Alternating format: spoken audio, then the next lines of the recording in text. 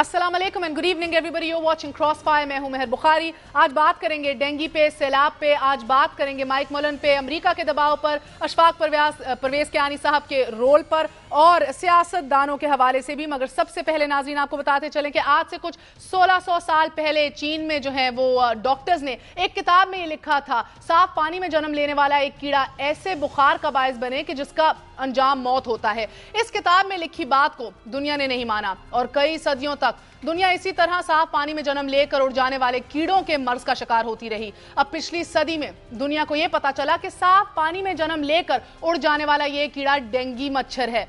ये मच्छर 1600 सालों से इंसानों के बीच में रहकर भी खुद को पोशीदा रखे हुए है। बड़ी कामयाबी से अब 16 सदियों से ये मच्छर इंसान के काबू में नहीं आया और आज भी सारी दुनिया इस बात पर मुतफिक है।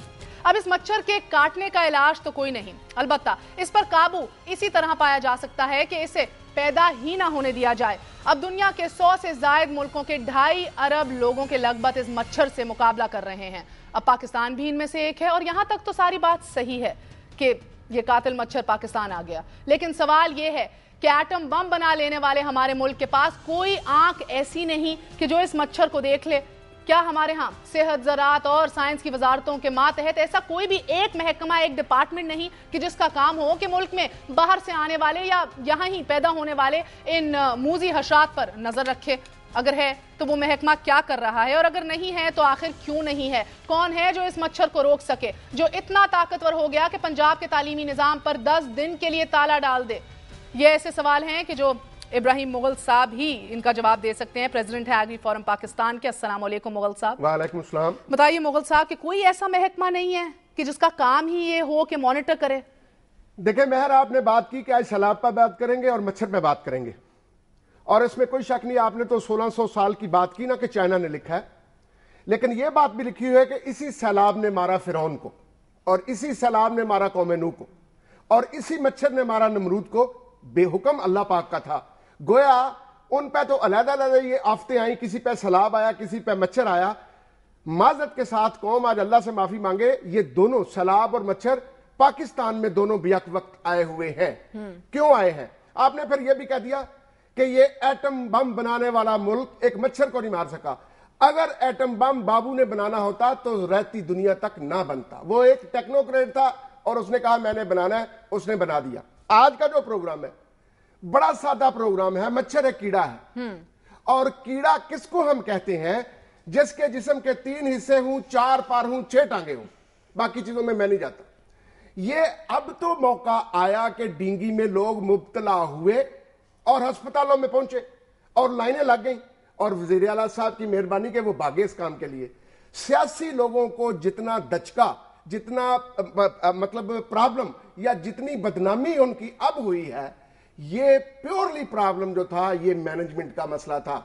ये जो कहते हैं मैं कैसे कहता हूँ ये आप वेबसाइट पर विज़िट करें ये एक मच्छर होता है कहीं ए ई डी ई एस है कहीं ए डी ई एस है। A E G Y P T I ये एक मच्छर की किस्म है। और ये मच्छर जब काटता है इससे जो वायरस फैलता है हम उसको D E N G U E dengue virus के नाम से याद करते हैं बुखार के और इसका वेबसाइट पे सारी तफसील लिखी हुई जी अच्छा। मच्छर चौदह पंद्रह दिन के लिए ये ज़िंदा रहता है अंडे देता है और एक एक मादा सौ सौ अंडा दे देती है। आज तो आपको सितंबर में आके पता लगा डेंगी आ गया। ये मच्छर तो आपका मई के आखिर में या जून में आ गया था। जब बारिश शुरू हुई मौसम में नमी आई टेम्परेचर थोड़ा सा फेवरेबल हुआ तो मच्छर आ गया था। क्या जवाब देंगे? तो आप कह रहे शिद्दत इसलिए इख्तियार किए डेंगी ने क्योंकि किसको कंट्रोल नहीं किया? अच्छा क्या जवाब देंगे secretary agriculture ji. Captain Arif Nadeem साहब। जी। उनके पास एक डायरेक्टोरेट जनरल है। जी। That is called pest warning and quality control के पेस्ट की वार्निंग देना अगरचे फसलात के लिए प्राइमरीली है। और दूसरा है क्वालिटी कंट्रोल उसको जो मारने वाले जहर है उनकी क्वालिटी को मेंटेन रखना। वो क्या इस महकमे को पता था डेंगी का? इस महकमे मैं कहता हूँ कि इस महकमे को तब पता चलेगा जब अगर सेक्रेटरी साहब चाहेंगे तो। दूसरी बात सेक्रेटरी रात के बाद। एक बाबूजी सो रहे हैं यानी कि। अच्छा दूसरी बात पब्लिक हेल्थ इंजीनियरिंग। जी। क्या किया पब्लिक हेल्थ इंजीनियरिंग ने? जिनका प्राइमरीली काम ही यह है। तीसरी बात सेक्रेटरी हेल्थ। उस वक्त बात की जब हाथों में लोग बल्कि अपने हाथों से हम अपने भाइयों को बेटियों को अजीजों को कवर में उतार रहे थे। चौथी बात बड़ा कोई मुसलमान बने और ये इस्लाम नहीं है कि मुँह काबे की तरफ़ मोड़ लिया कहा मैं मुसलमान हो गया मैंने इस्लाम कर दिया। डीजीएलडीए जवाब देंगे ये मेरे पास वासा का बिल है। इस महीने हर जो दो महीने के बाद ये बिल आता है तीन साढ़े तीन सौ चार सौ रुपया लगा होता है। और ये क्या है? That is sanitation fee other than the drainage fee sanitation fee अगर लाहौरियों से दो महीने की तीन से चार सौ रुपए ली जाती है ये सालाना एक अरब रुपया बनता है। क्या इस एक अरब रुपए के जो सैनिटरी वाले बंदे रखे गए सफ़ाई के लिए वो सड़कों की मुख्तलिफ़ जगहों की सफ़ाई कर रहे हैं या एक एक अफसर के घर दस दर वो सफ़ाई करने वाले अपनी ड्यूटी अंजाम दे रहे हैं? ये मंबा जब बना।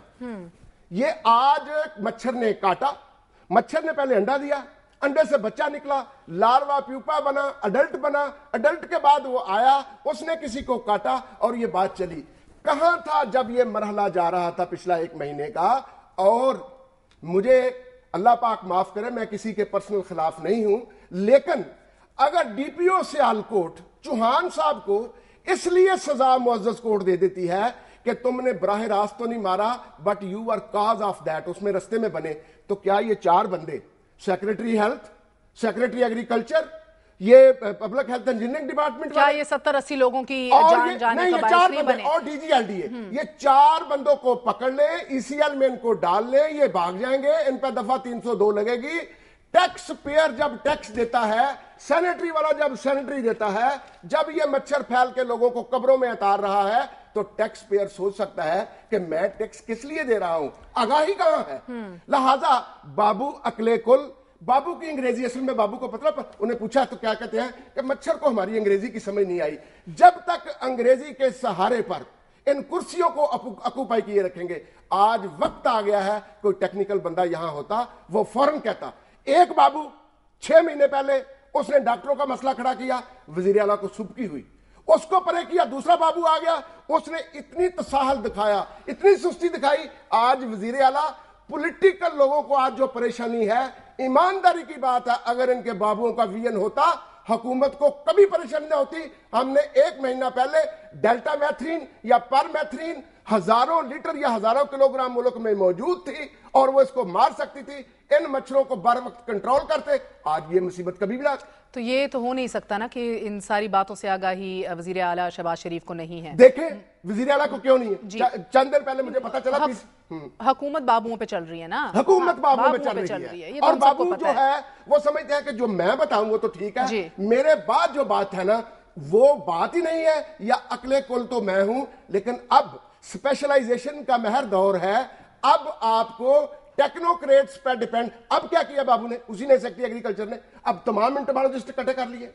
आज डीजी रिसर्च भी यहाँ लाहौर में आया हुआ है। जो मसला आज कर रहे हो हम आपको कहते हैं कि आप करते कुछ नहीं। आप कहते हैं नहीं हमने नीपा किया हमने फला किया इसलिए कि हम एडवांस प्लानिंग करते हैं। Where is the planning where is the planning अगर प्लानिंग होती तो आपका कहने का मतलब है महकमा मौजूद है मगर मुजरमाना गफलत के बायस आज मुजरमाना क्या मैं तो कहता हूँ जिन बंदों को कबर में उतारा है एक कमीशन बने। जी। चीफ सेक्रेटरी पंजाब सुना है ईमानदार आदमी है। खोसा साहब वो जो चीफ सेक्रेटरी हैं उनकी सरबराही में कमीशन बन जाए। जज साहब है हाईकोर्ट के कोई उनकी सरबराही में बन जाए। या इन बाबुओं में मतलब मेरे को रिश्तेदार नहीं है। इरफान अलाही हूँ या इरफान अली हूँ या नजम सईद हूँ देर आर सर्टन पीपल जो पाकिस्तान से प्यार करने वाले हैं।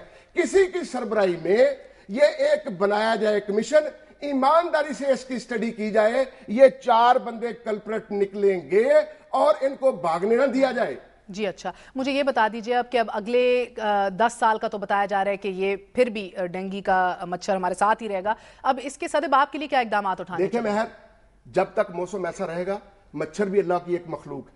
मैंने तो कहा ना, नमरूद को अल्लाह ने हुक्म दिया, मच्छर को जाके मार दो, और उसको काटा मर गया। लिहाजा हम इससे पनाह चाहते हुए इसको कंट्रोल करने की तदबीर करेंगे। अगले साल जो दस साल आ रहे हैं ग्लोबल वार्मिंग है तो जो सिचुएशन जा रही है, हमें बर वक्त पेस्ट स्काउटिंग करना है। इनका स्प्रे करना है, डेल्टा मैथ्रीन का कर ले, पैरमेथ्रीन का कर ले, ओरिगा कंपनी है, अली अकबर कंपनी है, फोर बी कंपनी है, वेलकन कंपनी है, वो मुफ़्त दवाइयाँ दे रहे हैं कि गरीब लोग जो है इस बीमारी से बचें। कितने अफसोस का मुकाम है कि कंपनी अली अकबर, वो साद अकबर साहब ने, वो मतलब ये कि चार हज़ार लीटर या किलोग्राम दवाई मुफ़्त दे दी, गरीब इलाकों में जाके स्प्रे करो। मतलब देने वाला खैरात मौजूद है और जो बेचारा गरीब मर रहा है, सिर्फ़ स्प्रे करके मच्छर को कंट्रोल किया जाता, आज कौम इस मुसीबत में ना पड़ती। बहुत बहुत शुक्रिया आपका, इब्राहिम मुगल साहब, एक बेदार शहरी। हमेशा रिसर्च के साथ आते हैं और आज भी चौंका देने वाली कुछ फैक्ट्स और फिगर्स और हकायक हमारे सामने रखे। सैनिटेशन फ़ी में जो एक अरब से जायद सालाना हम लोग देते हैं, वो कहाँ गया? पब्लिक हेल्थ इंजीनियरिंग पे सवाल उठाया है सेक्रेटरी हेल्थ पे सवाल उठाया कैप्टन आरिफ नदीम पे सवाल उठाया है, और उस महकमे का भी बताया है कि जिसमा, जिसका काम ही ये था कि पहले से ही सदेबाब करे, पहले से ही काम करे और डेंगी मच्छर को पहले ही खत्म कर दे। इसी के साथ साथ छोटे से वक्फे में जाएँगे। वक्फे के बाद आपकी खिदमत में हाजिर होंगे। बात करेंगे सियासतदानों के किरदार की, मीडिया की ट्रीटमेंट की और माइक मलन और क्यानी साहब की। हमारे साथ रहिएगा।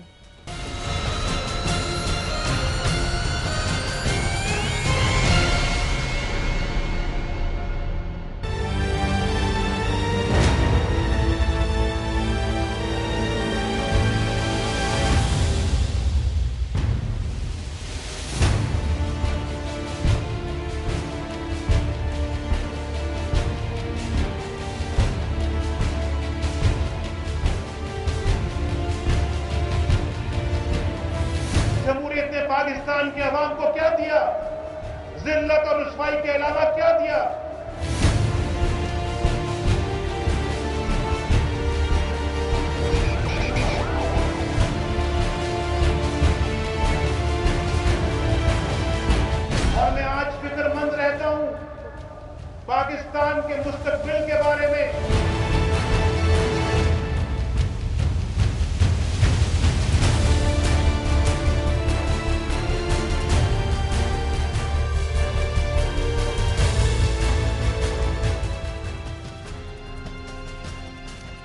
नाजरीन, शाम सात बजे से लेकर रात के बारह बजे तक हमारे टेलीविज़न शोज़ में या तो सियासतदान एक दूसरे से तू तू तकरार करते नज़र आते हैं हमें, या फिर गुफ्तनी नशस्तों यानी कि टॉक शोज़ के मेजबानों के हाथों सियासतदान माजरत के साथ अपनी दुर्गत बनवा रहे होते हैं। क्योंकि मीडिया के पास सियासतदान के अलावा और कोई ऐसी जिन्स दस्तियाब नहीं। ये जर्फ सियासतदान का ही है कि वो रोज उनकी लगाई गई अदालतों में पेश भी हो, तलब किए गए सवाल का हंसकर जवाब भी दे और अगले रोज फिर अपनी हतक करवाने के लिए हाजिर भी हो जाए। वरना आप खुद सोचिए, आपने कितने टॉक शोज़ में अभी तक दीगर रियासती अहदेदारों की बासपोर्स होते देखी है कि शायद ये तनासब एक फ़ीसद भी नहीं होगा रियलिस्टिकली स्पीकिंग क्या आपने किसी ताजिर को सियासतदान की तरह किसी भी टॉक शो में इस सवाल पर रुसवा होते देखा है कि वो टैक्स चोरी आखिर क्यों करता है? क्या किसी हाजिर सर्विस ना सही, किसी सबक जज या जर्नैल को उसकी किसी माजी की गलती या किसी भी प्रॉपर्टी के ऊपर या बेमानी के ऊपर किसी टेलीविज़न मुजाकरे के मेजबान के कटहरे में खड़ा पाया है आपने? शायद नहीं। तीन चार साल के इस रोज़ाना के अमल का नतीजा कुछ यूँ निकला है कि टॉक शोज़ के मेजबानों की वजह से सियासतदान मलून ठहराया जा चुका है। सवाल करना, लोगों तक ये इतलात पहुंचाना कि उनके साथ क्या हो रहा है? उनके मुंतखब नुमाइंदे क्या कर रहे हैं? बिलाशोबा, मीडिया का काम है। लेकिन ये काम भी मीडिया के सवा और किसी का नहीं कि वो आवाम को ये बताए कि उनकी तनख्वाहदार और उनकी खिदमत पर मामूर सर्विस ऑफ़ पाकिस्तान के अरकान जो हैं, वो क्या कर रहे हैं? उनकी ये खिदमतगार जो हैं, अपने फ़रज़ अदा कर भी रहे हैं या नहीं? लेकिन अफसोस के साथ इस तल्ख हकीकत को तस्लीम कर लेना चाहिए कि पाकिस्तान का मीडिया मजमू तौर पर इस पहलू में कामयाब नहीं हो सका। क्योंकि सहाफत के इस मैदान में बहुत से अनस्पोकन भी और बाहिर जो दिखते भी नहीं हैं, बहुत से प्रेशर्स होते हैं। सो आसान हदफ सियासतदान है।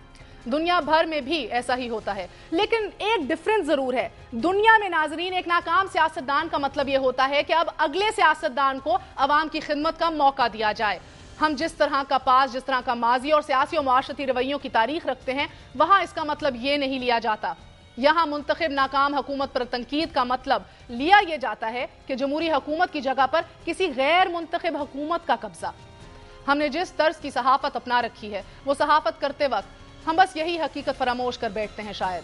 हमारी इसी तर्ज सहाफत का ही ये नतीजा है कि कोर कमांडर्स के इजलास में सियासी क्यादत की नाकामी को जवाब बनाकर चीफ अवामी स्टाफ को इकतदार संभालने का मशवरा दिया जाता है। और ये खबर सामने आने के बाद चीफ जस्टिस पाकिस्तान को बावर कराना पड़ता है कि तमाम इदारों को अपनी अपनी आईनी हदूद में रहकर काम करना होगा।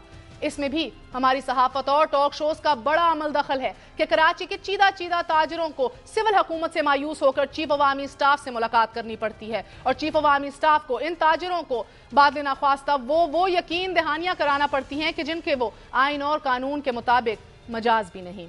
अब हालात की एक और सूरत का जायजा लेते हैं नाजरीन। अमेरिका की काउंसिल ऑन फॉरेन रिलेशंस और एस्पन इंस्टीट्यूट ऑफ़ इंडिया की एक मुश्तरका रिपोर्ट सामने आई है और उसमें यह कहा गया है कि पाकिस्तान अंदरूनी इंतशार का शिकार है।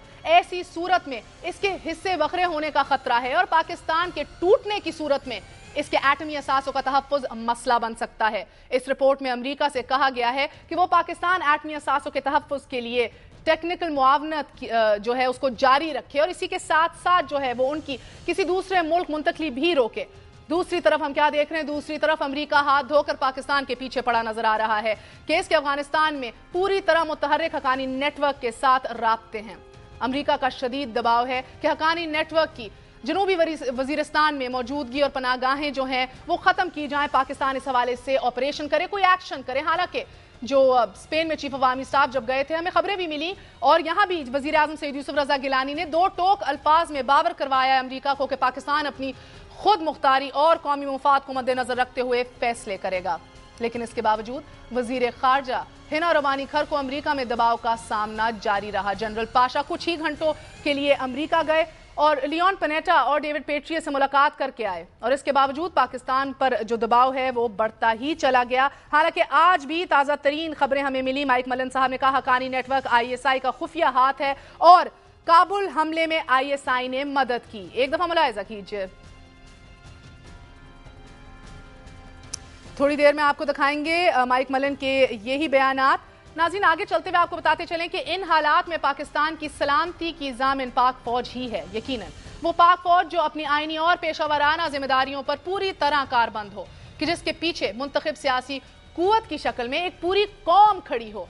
और इसके लिए ज़रूरी है कि चीफ जस्टिस पाकिस्तान की कल की जो एक वार्निंग, आप जिसे कह लीजिए, या कल की जो उन्हें ऑब्जर्वेशन दी है, उस पर गौर किया जाए कि सब अपनी अपनी हदूद में रहें। हुकूमत एक सियासतदान से लेकर दूसरे किसी भी सियासी ग्रोह को दुनिया ये देना जो है वो ये अवाम का हक है। लेकिन इसके पास ये हुकूमत रहे, कब तक रहे, इसका फैसला भी अवाम के पास ही होना चाहिए। मीडिया का काम है सवाल उठाना तो फिर वो बिला तफरीक हर जिम्मेदार के सामने हमें उठाना चाहिए। बस सियासतदान को ही मलून नहीं ठहराना चाहिए, क्योंकि यहाँ नाकाम सियासतदान का मतलब नाकाम जमहूरियत से ताबीर किया जाता है। और आज इसी पर बात होगी। इससे पहले कि हम इस पर बात करें, मीडिया के किरदार पे, फौज के किरदार पे, अदलिया के किरदार पे और सियासतदानों के साढ़े तीन साल की परफॉर्मेंस पे छोटा सा वक्फा लेंगे। हमारे साथ रहिएगा।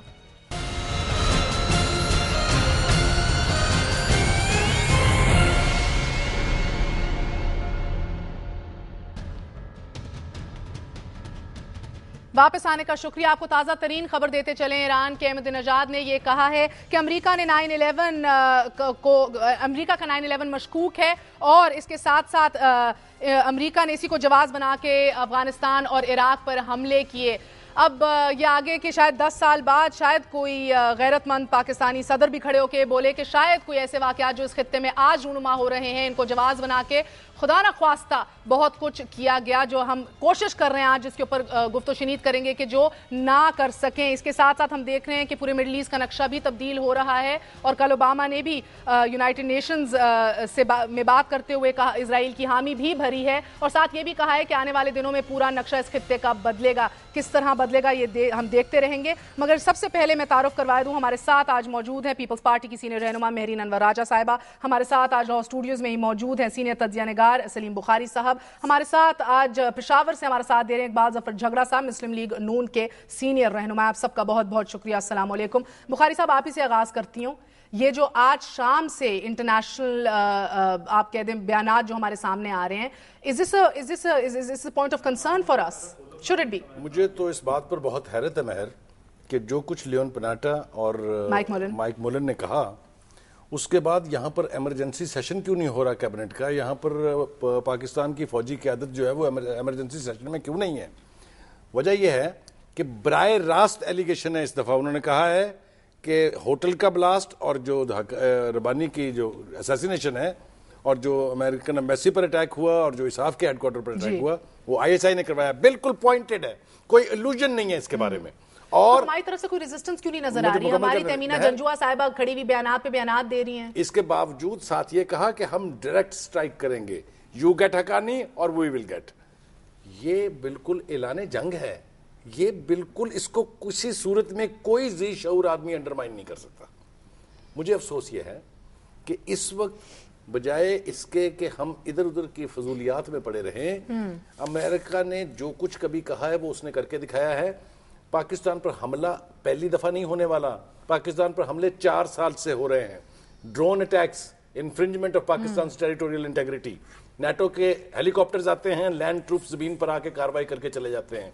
पाँच पाँच, छह छह सौ के बंदे वहाँ की नेटो की फोर्सेस के बैरियर्स क्रॉस करके पाकिस्तान की मुसल्ला अफवाज पे हमले करते हैं। एबटाबाद आपके सामने है मेरान बेस आपके सामने। क्या इंतज़ार कर रहे हैं मुझे तो इस बात की समझ नहीं आती। जो हवाला आपने अपनी गुफ्तु में दिया ईरानियन सदर का जी। जो आपने कहा दस साल बाद कोई बागैरत सदर why not now why not मैं कहती हूँ अल्लाह ना करे कि ऐसा कोई इन रेट्रोस्पेक्ट देख के ऐसा कोई हमें मौका मिले कि हम कहें कि ये ओबामा रेड कह लो ये कुछ और कह लो कि ये जवाब बना के हम पे हम हमला किया गया और हमारे साथ किया गया क्योंकि हर दस्तावेज़ हमें उधर ही का इशारा दे रही है। मैं आप, आप बिल्कुल दुस्त कह रही हैं। मैं ये कहना चाहता हूँ कि जो कुछ हमने आज शाम को उन दो बंदों की जबान से सुना है जी। This should have caused alarm bells इससे पहले मैं आगे जाऊँ मुझे बस ये बता दिए कि इधर क्या कोई जमहूरी इदारा ऐसा पाकिस्तान में मौजूद नहीं है इतना अहल नहीं है कि सफारती हमले का जवाब दे सके। देखिए जहाँ तक हमारी हुकूमत का ताल्लुक है जी। दो हवाले भी हमें अमेरिका से ही मिलते हैं कि जनाब सदर ने यह कहा था कि आप ये अटैक अटैक करते रहें कलेक्ट्रल डैमेज कितना हो रहा है in term of human life मुझे इससे कोई फ़र्क नहीं पड़ता। फिर वज़ीर आज़म साहब ने कहा कि आप ड्रोन हमले जारी रखें, हम थोड़ा सा प्रोटेस्ट करेंगे असम्बली में और उसके बाद खामोश हो जाएँगे। तो सियासतदानों से तो मुझे कोई ज़्यादा तो मैं बहुत माफ़ी चाहता हूँ, मुझे तो कोई तो नहीं है। अब रह गई आपकी अस्करी लीडरशिप देखिए एलिगेशन बर रास्त आई एस आई पर है। या तो मसूफ जो है ताजरों से मिलने के बजाय इस बात का जवाब दें। आंसर बैक करें अमेरिका को। और अगर हमने कान लपेट के सब कुछ सुनना है तो वो आवाम जो समझती हैं कि पाकिस्तान की मुसल्ह अफवाज पाकिस्तान की मुहाफ़ हैं हर कड़े वक्त में खड़ी होंगी उनसे भी तो ख़त्म हो गई तो फिर क्या होगा इस मुल्क का? उसके बारे में मेरीन साहब आपको क्या लगता है कि इसका जवाब आपकी हुकूमत को ही देना चाहिए या जिस तरह ज़िक्र किया मौसूफ को देना चाहिए? क्या नहीं साहब को आई एस पी आर को देना चाहिए। बिस्मिल्लाह रहीम। देखिए मैं सबसे पहले तो ये बताती चलूँ कि जैसे कहा कि हंगामी इजलास होना चाहिए और आपने भी अपने इंट्रो में जिस तरह कहा कि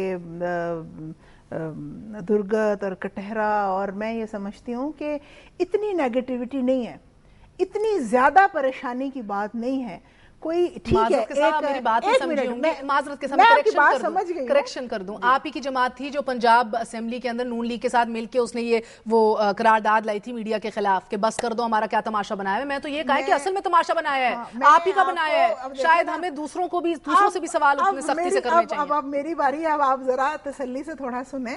और थोड़ा बर्दाश्त करें क्योंकि आपने खुद कहा है कि हम कितना बर्दाश्त नहीं, आज से मैंने कहा बर्दाश्त। हाँ, मैंने कहा आपने खुद कहा कि हम कितना बर्दाश्त करते हैं। बात यह है कि आ, मैं किसी को इल्ज़ाम की बात नहीं कर रही मैं ये कह रही हूँ कि हमने सबने मिल के इन चीज़ों को अगर किसी ने बयान और वो बाहर की आ, कोई एजेंसी है या बाहर का कोई नुमाइंदा है मैं किसी को नहीं जानती। मैं ये जानती हूँ कि मैं एक पाकिस्तानी हूँ। मेरा ताल्लुक पाकिस्तान से है। और पाकिस्तान के ऊपर किसी ने बुरी नज़र डाली तो फिर मैं उसकी आँखें निकालना तो भी डाल रहे ना? और अब मैं आपको ये बताती बहुत बुरी नज़रें हैं पाकिस्तान पे भी पाकिस्तान पे नज़र डालना और उसको अमल में लाना मैंने जिस कोई आसान काम नहीं है। जिस 64 पेज रिपोर्ट की बात की है ना ये आपके पास हो गया इसका मतलब ये ना समझा जाए ये इंटरनेशनल कम्युनिटी को भी अल्लाह ना करे पाकिस्तान टूटने के बाद की सिचुएशन के ऊपर डिस्कशंस कर रहे हैं भारत और अमेरिका। बात की बात कर रहे हैं ना लेट देम ये गंदी नज़र नहीं है। ये बिल्कुल है तो फिर हम जानते भी हैं कि इसका जवाब हमने कैसे वही मैं पूछ बीबी आपने देना है आईएसपीआर ने देना है? किसने देना है? हम या आईएसबीआर दो अलग चीज़ें नहीं है। हम सब पाकिस्तान का हिस्सा हैं और हमें पता है कि अपने मामलात को किसने किस वक्त कहाँ जवाब देना है। मैं ये समझती हूँ कि अपने आप को मैं हुकूमत की बात नहीं कर रही। हम्म। मैं समझती हूँ जैसे आप मीडिया हैं। हम्म। मैं सियासत से ताल्लुक़ रखती हूँ कुछ हैं जो डिफरेंट इंस्टीट्यूशन से ताल्लुक़ रखते हैं। इस वक्त अगर बाहर के किसी भी शख्स ने इदारे ने या किसी मुल्क ने इस पर बुरी नज़र डाली है तो हम सब एक हैं और इसका मिल के जवाब देंगे। जहाँ तक एक मैं बात करना चाह रही थी मैं कैरी लूगर बिल पे एक नहीं थे उसामा बिन लादेन को हलाक किया गया उस रेड तो में एक नहीं थे। देखा होगा कि हम कितनी जगह पे और कहाँ कहाँ पे एक हैं। मैं आपको नहीं नहीं नहीं मैं ये बता रही हूँ दो मई के रेड के ऊपर आप एक नहीं थे। आ, सदर साहब वॉशिंगटन पोस्ट को खत लिख रहे थे और आपकी पूरी स्टैब्लिशमेंट बहुत फिक्रमंद थी। जो रेजोल्यूशन आई थी वो एक थी या दो थी? फिक्रमंद थी शर्मिंदा थी। हमारी जो मीटिंग हुई बुखारी साहब आप भी मौजूद थे। आप एक बात देखिए कि मुतफिका रेजोल्यूशन आई थी। कैरी लूगर बिल भी आपको याद होगा पॉलिटिकल लीडरशिप का मौका था। जितने भी मामला थे उसमें देखिए बात ये होती है कि उन्होंने कहा कि क्या करें क्या करें? आप बताइए कि क्या उठें यहाँ से और जाके अमेरिका पे अटैक कर दें? हम महजब मुल्क हैं बातचीत से निगोसिएशन से एक दूसरे के जो मामला अच्छा। हैं तय करके आगे चलने वाली बात करते हैं और जहाँ तक वैसे वैसे अगर एक इजाज़त दे एक इजाज़त दे दे मैं झगड़ा साहब से बात करूँ मैं सिर्फ़ आखिरी बात करूँगी कि देखिए वाकई कुछ बातें ऐसी हैं जो कंसर्निंग होती हैं और जिनका बर वक्त जवाब दे देना चाहिए अगर अच्छा। ये चीज़ आ, सब अपने दिल में बिल्कुल पक्का यकीन रखें कि मौजूदा हुकूमत जो इस वक्त तमाम मुश्किल को फेस करते हुए आगे चल रही है किसी भी ऐसी नज़र का ऐसे चले, चले, एक सेकंड, एक सेकंड। ज़रूर जवाब देगी और बड़े अच्छे तरीके से देगी जी अच्छा। जो उसकी तरफ़ हाँ, बुरी हम भी मुंतजर रहेंगे। झगड़ा साहब अस्सलाम वालेकुम आपकी जाने बात हूँ मुझे बताइएगा कि इसका जवाब मैंने मेरा वही सवाल है मुझे इधर से जवाब नहीं मिला। मेरी साहबा कहती है सब मिल के देंगे। कौन मिल के देगा झगड़ा साहब? और क्या कोई इतना दो टोक जवाब हम एक्सपेक्ट कर सकते हैं जिस तरह अहमदीन आज़ाद का सामने आया आज? शुक्रिया जी आ, बात यह है कि with all due respect to Mehreen Anwar Raja sahiba मैं बहुत एहतराम करता हूँ इनका। आ, लेकिन एक चीज़ से मैं इतफाक इनसे ये नहीं करता कि ये हम इसका जवाब देंगे और बड़े तरीके से देंगे और कब देंगे इससे मैं बिल्कुल इतफाक नहीं करता। मैं समझता हूँ कि अगर इतना क्लियर कट मैसेज आज उन्होंने दिया है और मैं बुखारी साहब से बिल्कुल इस पे इतफाक राय रखता हूँ कि जी, हमें अब मजीद इंतज़ार नहीं करना चाहिए। हम कब तक इस इंतज़ार में बैठे रहेंगे कि वो हमें बार बार मारते रहें और हम कहें कि तू वत मार। ये वही बात है कि तू वत मार वाली गल है और हम उसका जवाब अभी तक नहीं दे सकते। तो ये कब तक ये सिलसिला चलता रहेगा? बुखारी साहबा, बात यह है कि मैं कई दफ़ा ये कह चुका हूँ कि बदकिस्मती से बदकिस्मती से मैं इनको आज 2008 के उस करारदाद पर ले जाता हूँ जो हमारी जॉइंट पार्लियामेंट सिटिंग ने चौदह नुकादी करारदाद मंजूर की थी। और मैं आपको आज पूरे वसूख के साथ कह सकता हूँ कि बेहतरीन रोड मैप था, आज के इन बातों का जवाब था, उसमें हर एक बात का जवाब मौजूद था। अगर उस पर अमल हो जाता और पार्लियामेंट को सुप्रीम समझा जाता और उस वक्त उठ के कहा जाता कि ये पार्लियामेंट ने कहा है और हम इस पे अमल करेंगे और वो अमेरिका के साथ आँखों में आँखें डालकर बात की जाती तो आज हमारी ये सूरत हाल नहीं होती। और मैं आपको बताऊँ, मैं तो चार पाँच साल से वो नक्शा उठा के फिर रहा हूँ और हर एक जगह कहता हूँ कि ये देख लें, ये तो ये नक्शा तो बदल पाकिस्तान क्या पूरे मिडल ईस्ट के जगरा साहब एक वक्फा लेते हैं। जगरा साहब एक वक्फा लेते हैं बड़े अहम नुकात आपने उठाए हैं पार्लियामेंट के किरदार के हवाले से भी। और ये भी है कि बाहर के प्रेशर्स तो अपनी जगह मगर वापस आके पूछेंगे कि मस्तूंग से लेके बदीन तक जो अंदरूनी हालात हैं लैक ऑफ़ गवर्नेंस के इतनी कमजोरियों अंदरूनी कमजोरियों के साथ क्या हम कोई इंटरनेशनल चैलेंज या प्रेशर इस तरह का बर्दाश्त कर भी सकते हैं? आँखों में आँखें डाल के देखना तो मेरीन साहब दूर की बात है, जो हमारी मे, दो सेकेंड मे के बाद जो पार्लियामेंट की करारदाद आई है, उसमें कहा पाक यूएस रिलेशन के ऊपर गौरव फ़िक्र किया जाए, उन्हें रीएवेल्यूएट किया जाए। इतना तो शायद कर सकते हैं या नहीं कर सकते आफ्टर ब्रेक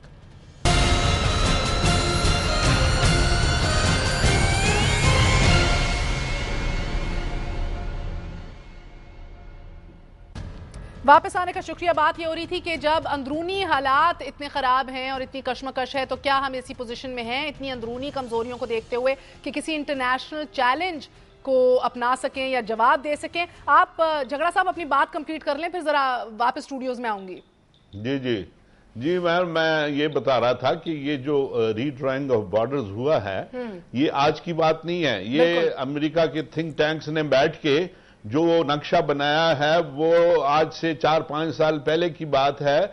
और आप उसमें देखें तो आपका पाकिस्तान सिर्फ़ पंजाब और थोड़ा सा कराची, अब सिंध का हिस्सा रह गया है। बाकी पाकिस्तान आपका केपी के जो है it is part of Afghanistan और आपका जो बलोचिस्तान है इट इज़ मगर कभी आपकी जमात ने तो हिम्मत नहीं की है दिखाने की अल्ताफ हुसैन साहब इसे मंजर आम पे लाए हैं। मैं तो मैं तो नहीं ये मैंने कई दफ़ा अपने टॉक शोज़ में महर इसकी निशानदही की है।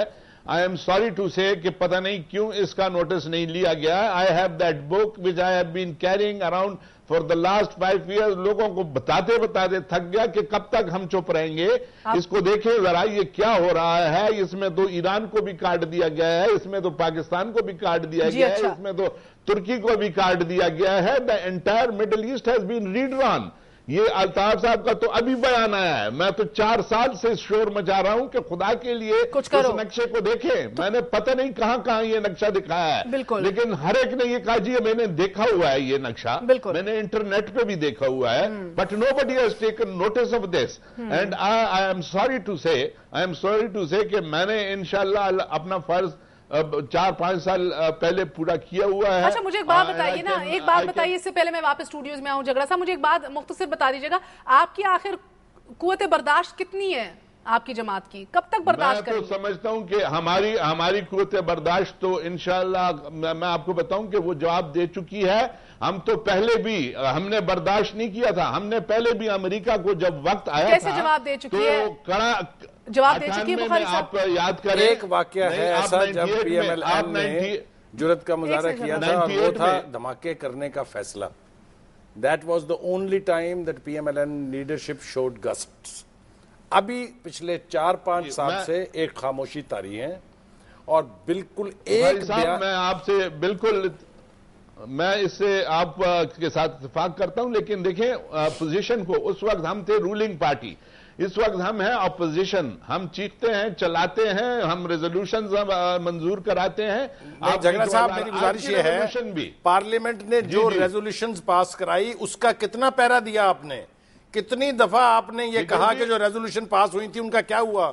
एक दफ़ा भी नहीं कहा इसके ऊपर मेरे ख्याल से देखिए नहीं करनी अगर मुझे इजाज़त दीजिए। मैं मैं बुखारी साहब मैं फिर रिपीट करूँगा कि मेरे कोई टॉक शो में देख लें मेरे ख्याल में there is hardly any talk show जिसमें इसका मैंने ज़िक्र नहीं, नहीं आपकी किया। बात नहीं है ना जबरा साहब आपकी क्यादत की बात है। मुझे तो ये लग रहा है कि खामोश जिस तरह आप है कि मुतबादल क्यादत आप अपने आप को तो सब्र करते ही नहीं है। मेरे कहने का एक एक सवाल सवाल सवाल बड़ा अहम है जबरा साहब। सवाल बस आपसे इतना है कि अगर आप एक आईनी तौर तरीके से ना हटाएँ इस हुकूमत को या कोई इकदाम करते ना नज़र आए, जो कि नहीं नज़र आ रहे तो फिर जो खला होगी, उसे कोई और ही आके पूरा करेगा ना? जो मीटिंगें तो होती फिर रही हैं। नहीं जी, देखिए, हमने तो बार बार कहा है कि आईनी तब्दीली के अगर कोई कहे कि हम हक में नहीं है तो वो गलत होगा। लेकिन हम ये ज़रूर चाहते हैं कि कोई गैर आईनी तब्दीली ना आए कोई अनडेमोक्रेटिक फोर्सेस जो हैं उनको कोई हम साढ़े तीन साल गुजार दिए हमने ये कह कह के कि हुकूमत को गिरने नहीं देंगे। और अब हम गैर आईनी तब्दीली के साय में छुप के फिर अपनी ज़िम्मेदारी से इनहराफ कर रहे हैं। ये क्रिमिनल साइलेंस नहीं है। This is a criminal neglect देखिए मैंने जैसा मिसाल दी पहले आपसे बुखारी साहब in in a way in a way I appreciate your statement yes it is you can to some extend say neglect लेकिन साथ ही साथ देखिए जी जो हालात हैं जो वाकयात हैं जो चैलेंजेस हैं उनको मद्देनजर रखते हुए बहुत कुछ सोचना पड़ता है और मैं इतफाक करता हूँ। मुझे इजाज़त एक मिनट की इजाज़त मुझे चाहिए। बिल्कुल झगड़ा साहब ठीक फरमा रहे हैं। लेकिन प्लीज़ जो मैंने मिसाल दी अहमदी निजात की जो मैं मिसाल देना चाहता हूँ नॉर्थ कोरिया की। नॉर्थ कोरिया को अमेरिका ने कहा कि 40,000 NATO troops are sitting in South Korea we will eliminate you in 13 minutes उसने कहा बिल्कुल ये बात ठीक है you can do that but I will raze to the ground entire Japan in three minutes come get us उसके बाद उन्होंने कहा नहीं छह ममालिक को शामिल करें से मुजाकरात करें मेरी बात पूरी हो रही अहमदी निजाद ने जो कुछ वहाँ कहा है हमला तो नहीं किया है। लेकिन उनको यह बता दिया है कि this is how my nation feels that you are cheaters you are frauds हम में इतने गट्स भी नहीं है कि हम ये अमेरिका से कहें हमने ये नहीं किया। अगर आप हमारे खिलाफ कोई जारियत करेंगे you will get the toughest answer why can't we say this Mahar tell me I want the answer to this question मैं तो नहीं बता सकती। आपको पता नहीं डिस्कशन क्यों हो रही है? आ, मैं क्यों ये कह रही हूँ कि अगर आप ऑपोजिशन है तो फिर कोई ऐलान करें लॉन्ग मार्च करते दिखाई दे। कोई आईनी तरीका इख्तियार करे हाथ पे हाथ रख के बैठे तो ऑपोजिशन भी बैठी है। क्यों मेरीन साहिबा? मालूम है ना आपको क्यों? कराची के अमन अमान का मसला है तो रेंजर्स संभालें। अगर वेकअप कॉल देनी है तो अदलिया आए। ताजरों को हौसला देना है। तो क्यानी साहब आए। यानी मैंने आखिरी कॉल कर मैंने तो आखिरी सुना था मैंने आखिरी सुना था कि आपकी हुकूमत थी। द इन योर हैंड देखिए बात ये देखिए हुकूमत अपनी मदद के लिए किसी भी एजेंसी को बुला सकती है इसमें कोई परेशानी की बात नहीं होनी चाहिए इसमें कोई इतना बड़ा मुहिमा नहीं है। नहीं, आपने बुलाया नहीं है वो प्रॉक्सी वार लड़ रहे हैं। ताजरों को हौसला एक सेकंड हाँ या ना हाँ या ना। ताजरों में हाँ या ना? ताजरों को हौसला देने के लिए आपने क्यानी साहब को भेजा था? देखिए बात मैं आपको ये करना चाह रही हूँ क्यानी साहब पे अगर बात कर रहे हैं तो मेरे ख्याल में फौज अपने मामला अपने जो जो अपने फराइज है वो बहुत अच्छे अंजाम दे रही है। आप ये क्यों नहीं देते? हम तो कह रहे हैं बॉर्डर्स के ऊपर कैसे रहे। और मैं आपको एक बात बताऊँ कल को याद नहीं उस फौज की बात नहीं हो रही जो जनरल परवेज मुशर्रफ की थी जिसने आपने गार्ड ऑफ़ ऑनर दिया था। हमने गार्ड ऑफ़ ऑनर नहीं दिया। हमने गार्ड आसिफ अली जरदारी और सैयद यूसुफ रजा गिलानी एंड पैटरसन से मुलाकातों में उनकी केबल्स सदर जरदारी ने बयान भी जारी कर दिया है कि हमें तो यकीन दहानी दी थी गोल्फ खेलेगा जाके ये क्या सियासत कर रहा है? कौन था? देखिए बात मैं आपको बताती चलूँ गोल्फ खेलने की बात हम उस जर्नल के बिल्कुल खिलाफ है जो आर्टिकल 244 तोड़ेगा। जो कहता है कि मैं कसम खाता हूँ मैं सियासत में नहीं आता और फिर सियासत में आ जाता है उस जर्नल के या उस एक मिनट सर एक मिनट उस फौजी के खिलाफ है मगर उस फौज को जो जान अपनी बॉर्डर्स पे दे रही है उसको सलाम है। बिल्कुल है पूरे मुल्क का सलाम है और जैसे चीफ जस्टिस ने कहा हर कोई अपने आईनी अच्छा वो जो जिसको गार्ड ऑफ़ ऑनर दिया था उसने कौन सी कौमी खिदमत सरंजाम दी थी? गार्ड ऑफ़ ऑनर दिया अब आप हैं। ऑन रिकॉर्ड है जरदारी साहब आप उनसे मिलती रहती हैं मुझे पता है प्रेसिडेंसी में पूछ लीजिएगा। देखिए मैं एक बात आपको ये कहना चाहती हूँ कि वक्त खत्म हो गया एक वक्त खत्म हो गया जाते जाते जाते जाते आपको एक बताती चलूँ कि कोई मुल्क हो उसको जवाब दिया जाएगा दे दिया गया मैं ब्रेकिंग न्यूज़ दे दूँ दे दिया उसी न्यूज़ आ गई है खबर आ गई है बीबी मुबारक हो मुबारक को आप मुतमिन है सदर जरदारी ने और गिलानी साहब ने जवाब दे दिया अमेरिका को कि आईएसआई का खुफिया हाथ जो है हकानी नेटवर्क नहीं है और ये हमला काबुल में हमने नहीं कराया। इससे ज़्यादा पैसिव आंसर नहीं हो सकता। दूसरी बात जो लास्ट एक जुमला। आप हमारे जवाब में भी खुश नहीं है। जब भी जर्नैल जब भी जर्नैल तोड़ेगा तो किस तरह की बात आप करते हैं? सियासतदानों की नाअहली की वजह से फौज आई है सियासतदान नाअहल नहीं है। अगर नाअहल है तो सारे इदारे उसमें मिल के शामिल है। चलिए। आज सियासतदान मुफामत की बात करता है और मैं आपको बताती चलूँ पाकिस्तान की सियासत मुफामत के बगैर नहीं चल नहीं चल सकता। पाकिस्तान किस तरह चल सकता है किसके चलाने से चल सकता है ये तो आने वाले दिनों में देखेंगे। मगर सियासतदानों पे और जमहूरियत पे अभी हम हिम्मत नहीं हारे हौसला नहीं हारे। मगर ये भी बताते चले इस हकूमत के पास चार सौ अट्ठासी दिन एक घंटा चार मिनट दस सेकेंड रह गए हैं। हम होते तो काम करना शुरू कर देते। हमने काम कर आज के लिए इतना ही। I see you on Monday इनशाला टेक केयर गुड नाइट अल्लाह हाफिज़।